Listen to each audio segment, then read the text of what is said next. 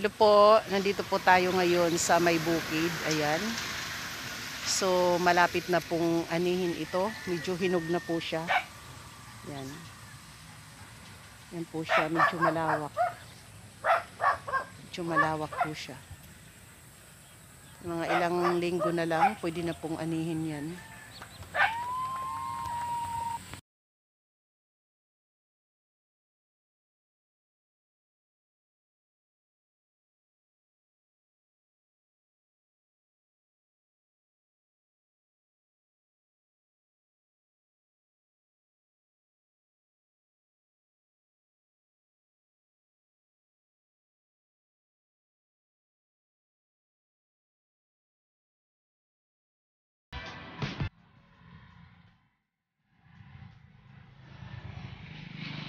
Maganda naman yung uhay ngayon.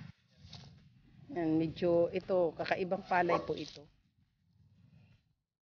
Hindi ko lang po alam yung pangalan ng palay pero iba po siya.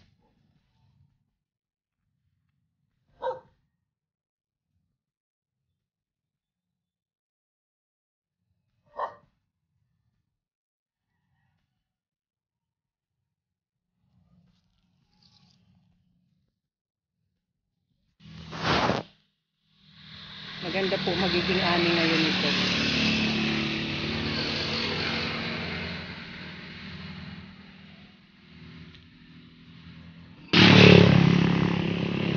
Yan. Green na green po ang ah, ano po, palay dito.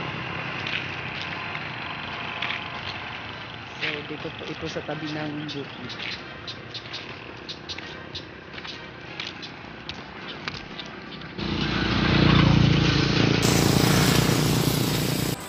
Kaway-kaway naman dyan.